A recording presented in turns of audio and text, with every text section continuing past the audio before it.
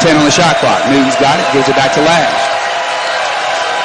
Looks like they're trying to force Lash to shoot right now. I mean, his teammates aren't really looking to score. Tough shot by Yeah. Lash. Reddicky, they wanted to foul, no call. Going the other way though with it. Thatch has it now for Nebraska Wesleyan. Deep three by Lash. Logo. Brown has it now, gives it up to Glenn. Glenn will find Lash again. He'll shoot the three. Got it. coming away with a loose ball. Comes Peter Lash in the lane, opens wide up for him, and in the American Rivers Conference for quite some time, uh, coming back for a fifth year. Again, one of the nicest guys uh, you'll ever meet as well.